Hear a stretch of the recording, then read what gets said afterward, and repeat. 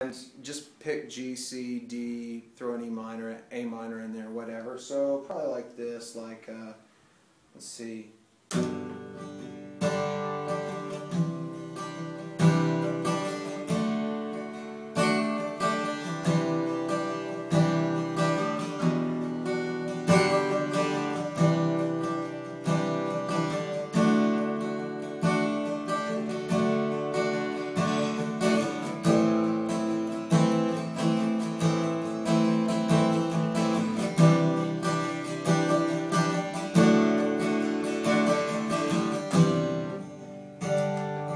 I messed up the end of it.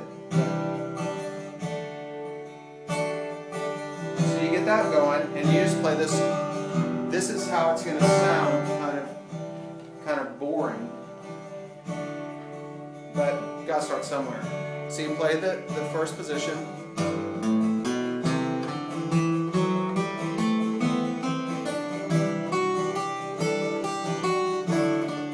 Start going up and down.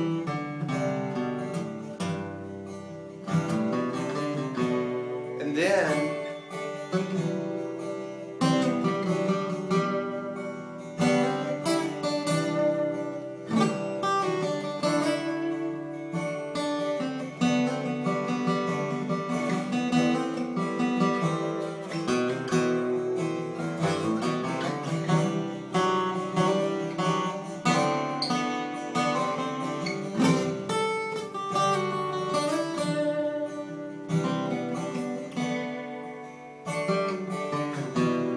Okay.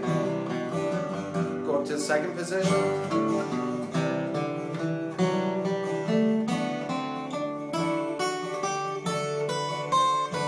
Walk your way down.